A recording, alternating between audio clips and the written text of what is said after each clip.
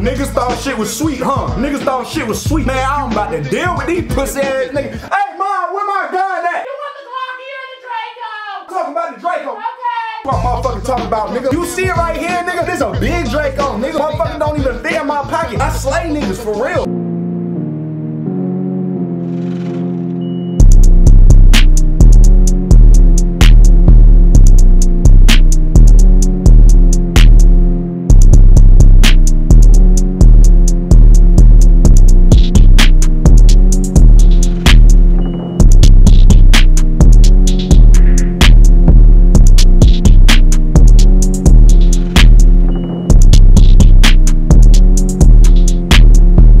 Sound in the melody, we came into Omnisphere and chose this Unstable Love Organ preset from the I don't fucking know section. The only thing we did to that sound was EQ, take out the highs, take out the lows, don't do nothing fucking else to it. Oh, reverb, RC. I'm not gonna deal with this bullshit asking all these dumbass questions. It is some dumbass questions, and you a dumbass nigga, so take your ass to the back and shut the fuck up.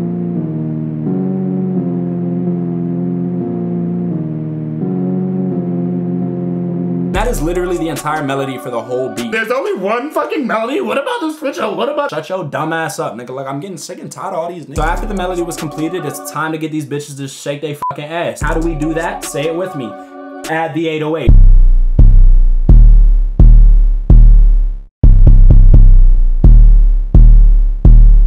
What did we add after the 808? I'll give you a little hint. Anytime you see a cute little dog just sitting in the grass minding its own business, what do you do? Fucking kick it. That's what we did. We just added this simple kick.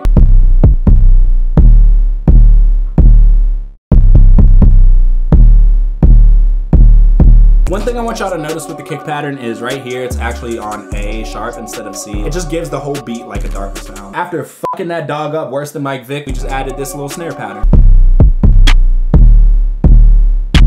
I felt like the first snare wasn't hitting hard enough, so all I did was I layered a second snare over top of it, and now that motherfucker hitting harder than Rob Gronkowski when he see a black cornerback make an interception. After adding those two snares, I just added this cash register sound because sometimes I like to pretend that I'm not a broke ass nigga with no bitches, no drip, no money. Now that we got the asses bouncing, it's time to get them titties jiggling and jangling in my face, and the only way we do that is by adding these hi-hats. After the hi-hats, we just added a simple little accent snare.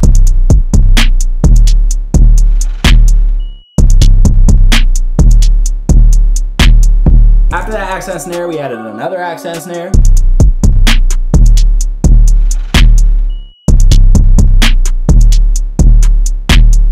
After those accent snares, I just came in and I added another hi-hat pattern just to, you know, create a little bounce, a little talk amongst the hi-hats. The only thing we did to those hi-hats was we added these little reverbs right here and right here because I don't actually fucking know what I'm doing.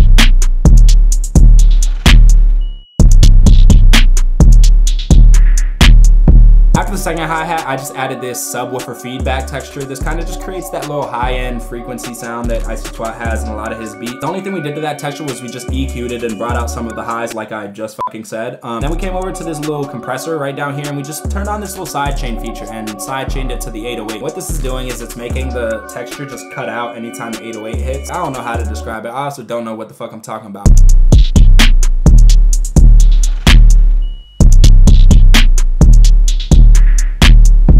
Last but not least, I just added this motherfucking bomb because I like blowing niggas up.